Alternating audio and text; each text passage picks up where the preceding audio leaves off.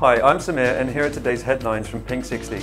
A 13-year-old boy has been awarded 5.5 million after he was left severely brain damaged by midwives who managed his birth. Nathan Popple, who is the son of lesbian couple Beryl Sanderson and Gay Leeds editor Sarah Carmody, suffered oxygen starvation in November 1997. A lecturer at the Indiana University of Pennsylvania has been accused of bullying students for being gay, bisexual or lesbian. In the most recent incident, she supposedly said being gay is disgusting, unnatural and abnormal. The remaining Commonwealth countries will be asked to remove any legislation which prohibits homosexuality, an Australian MP has said. The, the, move comes as the leaders of the 53 countries will meet in Perth, Australia for the annual Commonwealth Heads of Government meeting. A mother from New Zealand may be jailed after falsely claiming that a girl competing for a school place with her daughter was a lesbian with an STD. Queenstown District Council heard how the woman made the claim in order to increase her daughter's chances of being selected to study at Columba College.